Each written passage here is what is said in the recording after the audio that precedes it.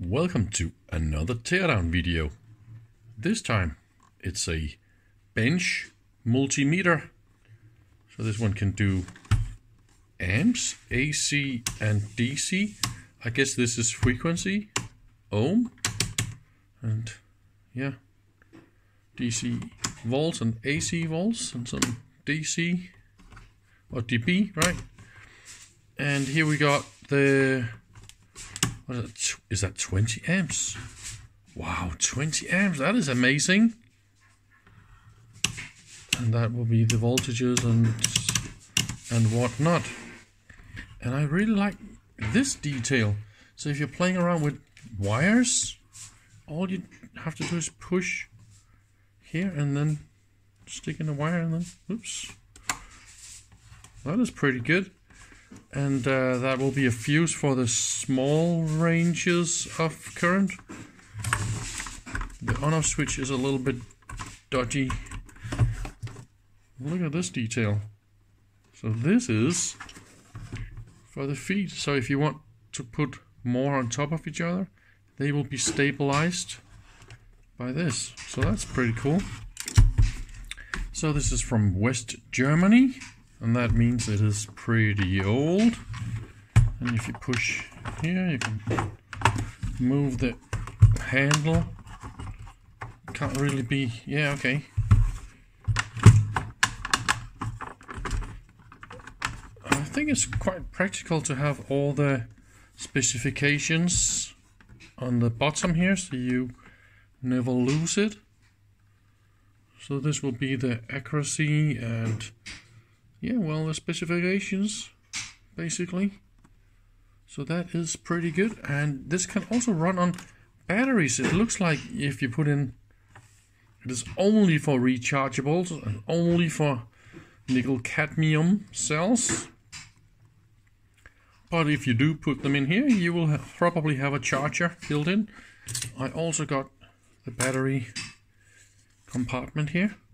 And look what else I found always you'll find the screws there hidden uh, behind some little rubber thingies, but look at that one. That simple is a fuse. So if you unplug the little rubber thingy, ta-ta, you get the fuse. Isn't that just a cute place to hide the fuse? I can't remember seeing this before inside the little rubber feet thingy. That was pretty cool. But there is something loose in here. So normally when I hear loose parts, I think we need to open it before we power it up. Because I just don't blow stuff up for fun. It needs to be defect by itself and not by all sorts of stupidity. So okay, let's open and see what is inside. What is the little loose part? Well, now we're in. I didn't really understand why somebody drilled some holes here and put some brass spacers. Maybe this is to click into some sort of a holder or something. I also found out about this. Of course, this is your handle holder. See? Now you can stick in your hand. really funny. Why would you do it like that? Okay. And here is the connection to the top shield from the this one. But look at that. It is really really beautiful made.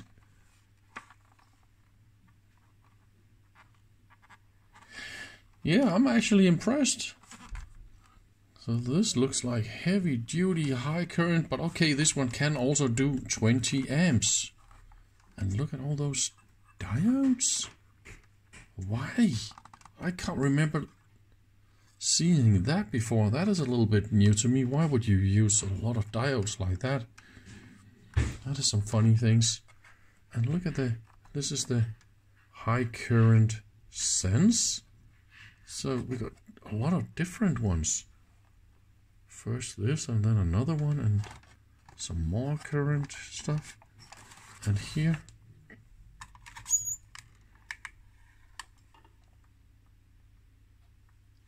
Here's also a special voltage divider thingy. And what is inside the shielded case here? Something secret. We got some nice op amps and stuff. Maybe there's a. I'm looking for the reference. Uh, where is that? Maybe that is it. Maybe it's here. Because I see some high precision, expensive components and some. Why would you locate something far away from everything where it's not affected by heat? And there's also a funny plug-in circuit here. I also want to investigate that a little bit. Also saw some funny modifications. And this one can't be designed like that. Transformator is in the very far corner. And internal voltage selection. Crystal. A lot of op amps and stuff like that. Analog maxim something. I guess this will be the LCD. Yeah, this is LCD. But also, why would we have all those ICs up there with the with the LCD? And then, okay, so now, okay, yeah, yeah, yeah, okay, sorry about that. This is the microcontroller that is handling everything, and that is just readout chips. Okay, how about this? I think that is fantastic. So they made all the different switches here on PCB, double-sided PCBs. It is not the cheapest way to do stuff. So I think this is this is quite expensive this design. I can't wait to power it up. Also, I found out the little plastic part that was flying around in here. That is this problem. There's definitely a problem with the switch. Ooh, look at that. And somebody tried to repair this by adding a little screw here. That is a little bit weird. Anyway, I think I'll just power it on and then I will see what happens. It's absolutely beautiful. This one is definitely the voltage divider resistor. It is really really nicely made. It's impossible yeah okay here it is. Some really really thin lines and all sorts of stuff. So I guess this is the voltage ranges. Down here. I think is this IC a little the this AD542 that is an op amp right?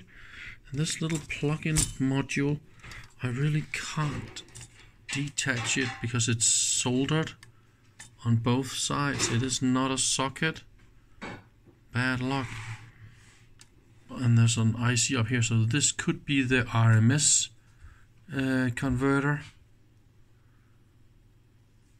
and what is inside this little metal can is this the reference?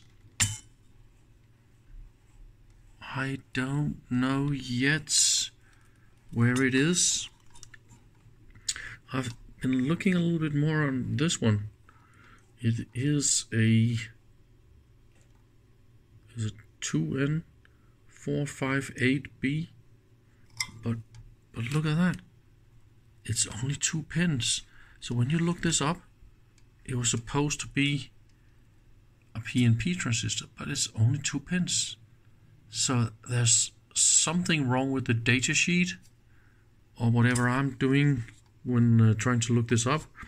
And I find another one down here. This is called 2N404. This little metal can. And that is also two pins, and it's also supposed to be a PNP transistor. So what is going on? That is tricky, tricky.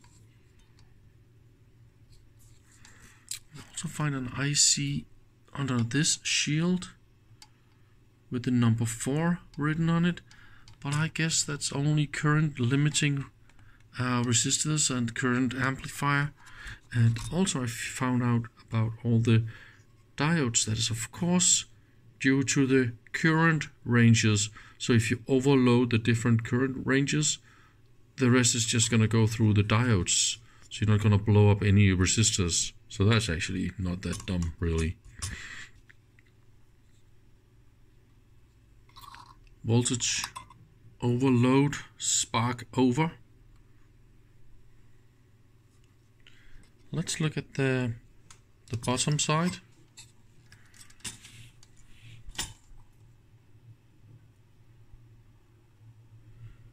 see a lot of leakage shields and all that so that will be some high impedance uh, inputs and whatnot.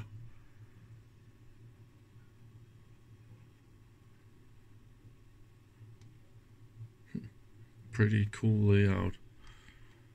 So yeah, and that will be the the display. And when you look at layouts like this, with lines not being parallel and the actually the whole way that this layout was done, it looks a little bit like it was done without CAD.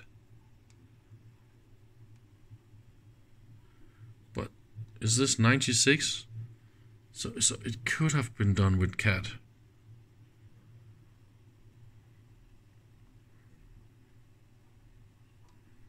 Alright, let's try and power it up and see how it performs.